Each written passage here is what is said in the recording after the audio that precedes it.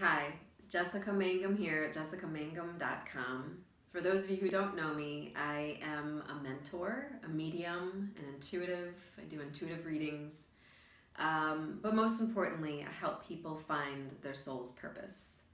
And today, what we're going to be focusing on, because this theme has presented itself quite frequently here lately, is um, healing ourselves through self love.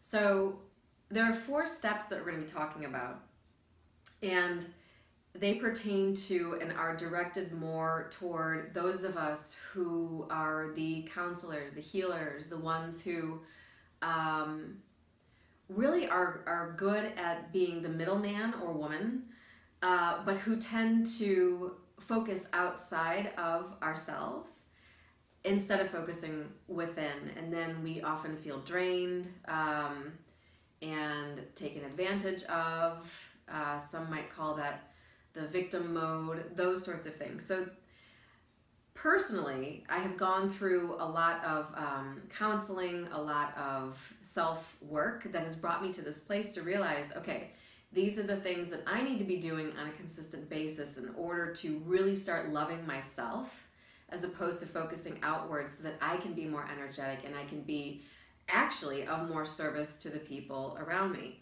um, as opposed to trying to help everybody else. I help myself. So, um, heal or heal thyself. The first step that I want to talk about, and this is something that you can do on your own, obviously. I mean, um, what I have done is I've created a calendar for myself and literally scheduled in time for me, for me.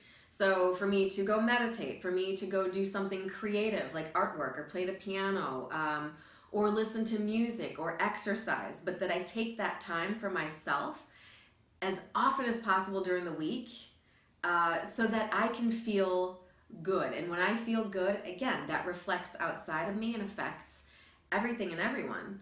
So that's the first step. Plan some time for you throughout the week to take time for you only to focus on you.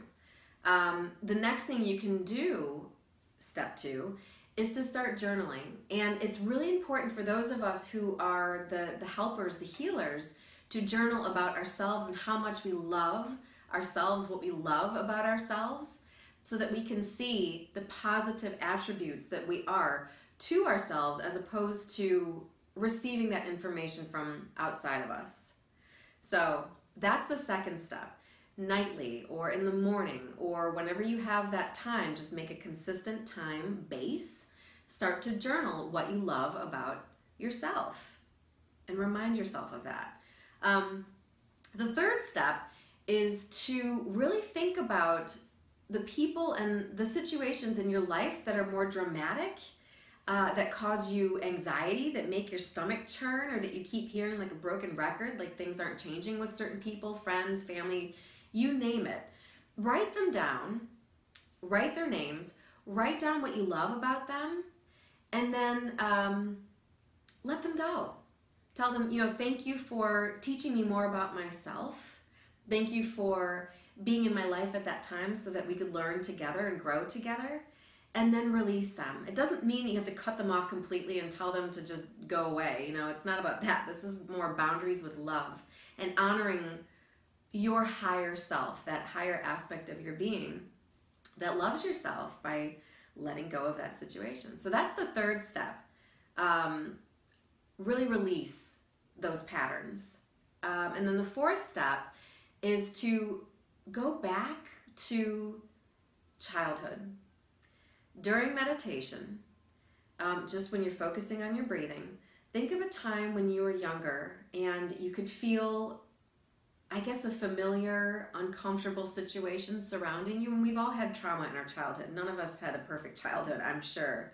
Um, but sit in that situation and see yourself as a child, literally, like you're the the um, the onlooker, if you will, right? Looking at yourself and the child you know just kind of in a whatever state she or he is in. And then as the adult you put your arms around that child tell that child you that it's going to be okay. Um, that you're going to work through the process together. And that will help um, relieve a lot of anxiety in your life in general because you're going back and nurturing the child where he or she may not have received that in their young age.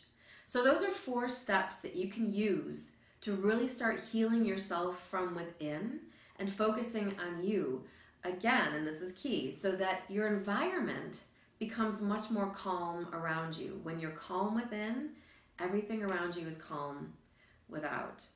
So I hope you find that incredibly helpful and that you use these tools on a regular basis to see this consistent change. For as you change, the world changes. Thanks for your time. Please visit my website, jessicamangum.com, and I hope to see you again soon. Bye now.